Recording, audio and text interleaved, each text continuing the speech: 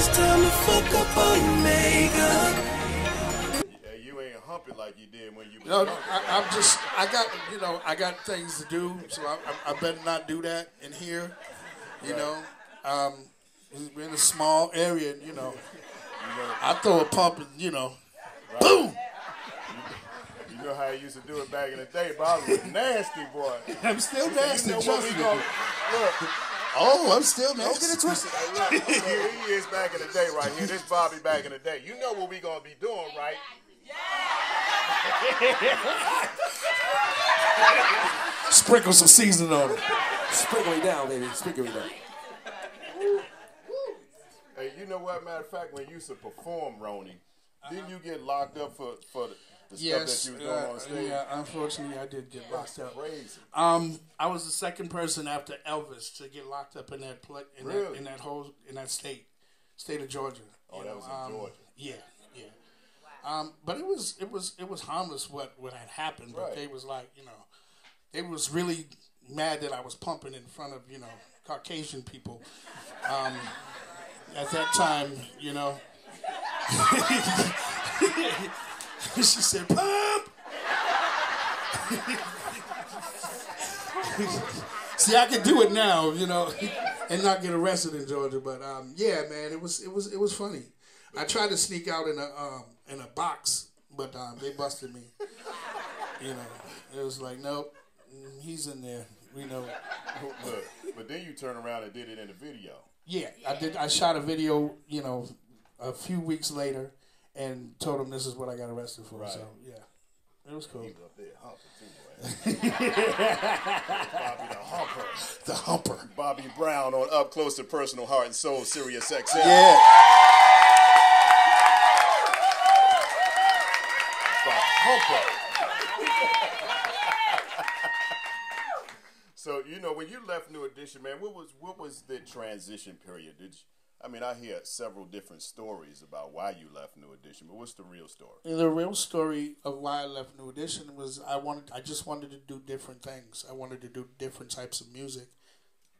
I had been writing, you know, while I was with New Edition, you know, and um, I wanted to sing more lead vocals. You know, I wanted to be in the front a lot more. And uh, the only way I could do that was to do my own stuff. So I went to Jheryl Busby and Louil Silas at the time at MCA, and I told him, you know, I want to do my own thing. And um, I started recording some songs, and while we was still on tour with New Edition, and by the time you know, it came to um, them saying that um, that I was really too nasty to be in the group because the group had this, you know, other image that I was, you know, violating, and um, I was like, cool. Um, so, and they kicked me out, and basically I was like, you know, cool. I went home for a while and then flew out to Los Angeles and did my King of Stage album and basically just went from there. But how, how does a group kick out somebody that really kind of founded the group? How does that Um, well, we went by majority, majority. You know, the majority of the group said, you know, three of them said out. Ralph was like, nah, nah. So Ralph was the only one that was, you know, really like, nah, B, you don't, you ain't gotta leave now. So when I left, Ralph was like, nigga, I'm about to go too. I'm, I'm about to leave too. This, this, uh-uh. You ain't gonna leave me here with these crazy. but I, I think everybody um, should be thankful that um, it happened. I am thankful that it happened Yeah, I was about to say it was a because you know for you. I wouldn't have never done you know Don't Be Cruel. I wouldn't have never done King of Stage. I wouldn't have never done Bobby album Forever. You know Masterpiece. I wouldn't have never, never done any of those. You know, so I'm I'm really thankful. So even when you stepped away, I know you you had this thing where you wanted to be who you are. Uh-huh. But did you have any idea that you would become such a pop icon? No, no. I was. I, I just wanted to make good music. I wanted to make music that um could appeal to the masses. You know, and um the way I saw music going, where when I saw rap coming in to the game, I was like, oh no, this popcorn stuff is about to be out. So I was, I was, I was going with the times at the time. You know, um, working with you know different different producers and writers and like Face and Teddy Riley, um, L.A. Um, you know, just working with different individuals and, and, and, and molding my craft, molding my sound on, on how I wanted to wanted to be. So, so did, was it your decision with who you was gonna work with on, on "Don't Be Cruel" album? Yeah, yeah. I had heard um, a lot, lot of songs from from L.A. and Babyface, and I was just like, yeah, those are the cats that uh, I could build this album around. And then when I when when I talked to Teddy, when me and Teddy got into that, that we was in the projects in Harlem, and you know we did the vocal in the bathroom. You know we did the track in the living room, and it was just little small, small hot ass place you know, in the projects, and it was just, it was, you know, me, Aaron Hall, and you know, just just banging things out, banging music out, and then when Prerogative came, you know, when we wrote Prerogative, it was just, it was a rap. We knew, we knew that was what we was gonna, that's what was gonna make the album. That was gonna, that was my image. That was my stamp on it. Oh yeah, you put that thing together, bro. Yeah, yeah. Thank you. I made this money, you didn't, right? We out of here. All right, Bobby Brown on Heart and Soul up close and personal. Y'all go give us another one, dog. It's not too late. There's gotta be a way me to escape all this nonsense. I've got to. Get away. I got to. I've got to get away, yeah.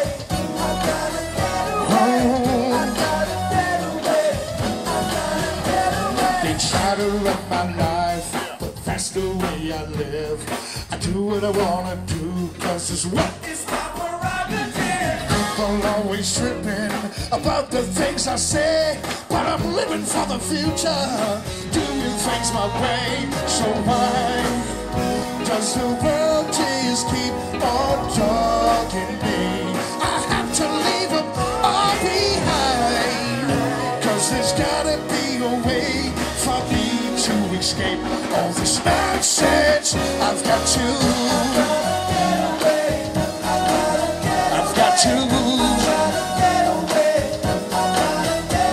Got to get away, yeah.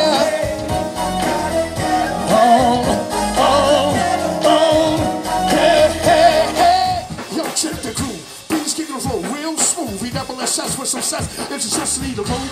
Hit them with the feeling like a rhythm snatcher. Double can rhyme, so rhymes is coming at ya. As I release another brown batch of jams that slam you can't touch us gram. Look at gram to understand who I am. Damn, by the way, can I please get this dance? Let's not freelance cause I'm just getting started. Believe me, that was nothing but a brown party. That's going on, yeah, got it going on. Bobby Brown's rated number one, so flow on.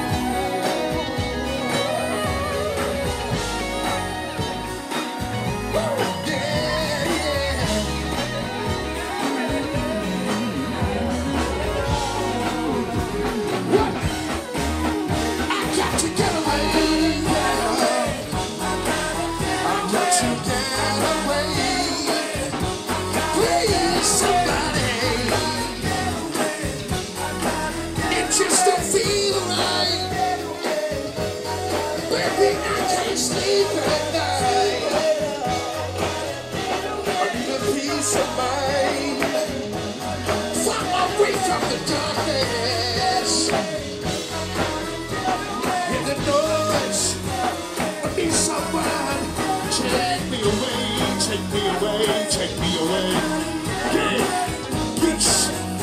is out of here. Get away, get away, get away, get away, yeah. Oh, I got to get away from here, babe.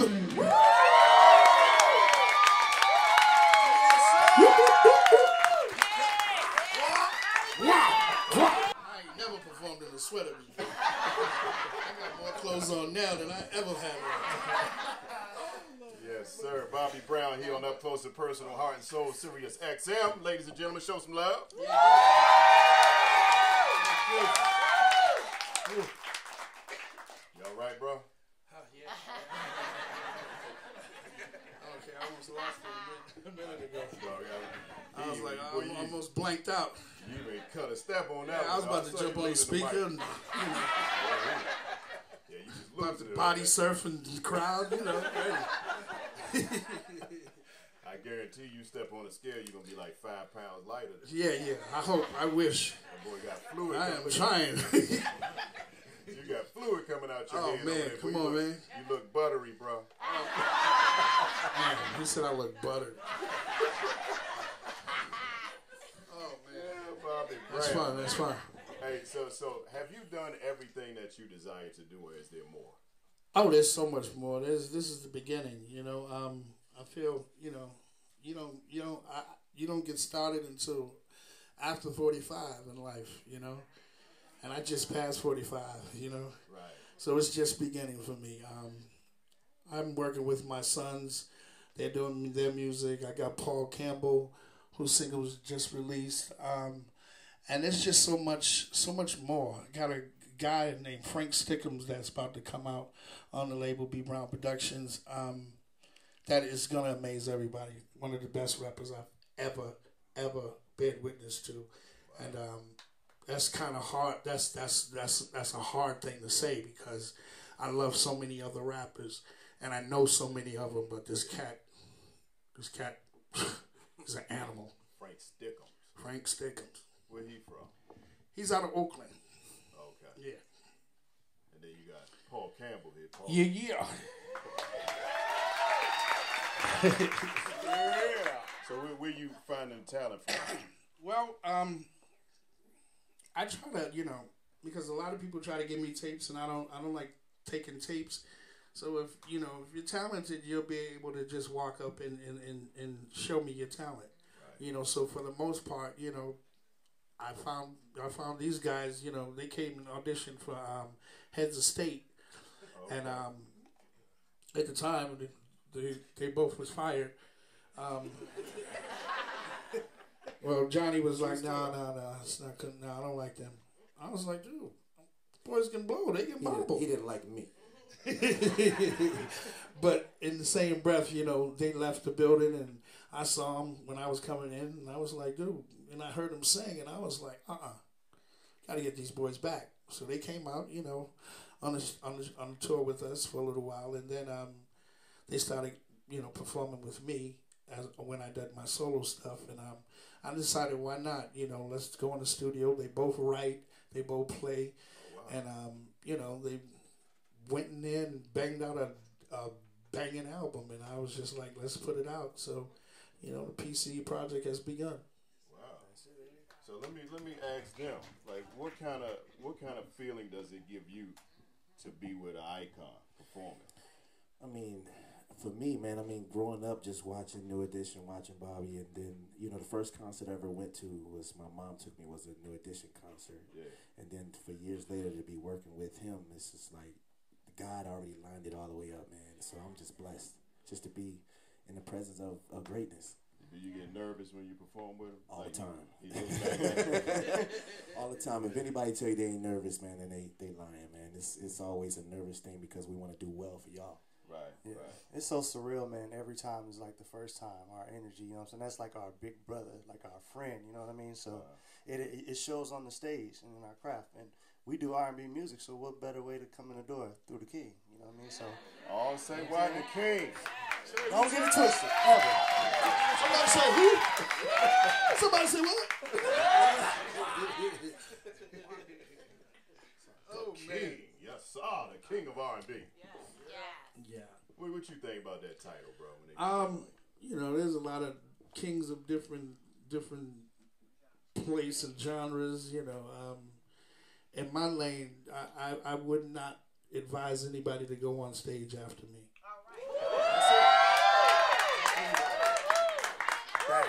Simple as that. I feel you. I feel you. Bobby Brown said it. he said it. Listen to him. Go ahead and give us another song, bro. Y'all give it up for Bobby Brown and Hard I think it's time to fuck up Omega. Grab your hair and tear it up the t-shirt. No slowing down. Ain't gonna let up. Shoulders down. pick that ass up. Watch me work it, watch me work it, watch me work it out. Watch me work it, watch me work it, watch me show you how.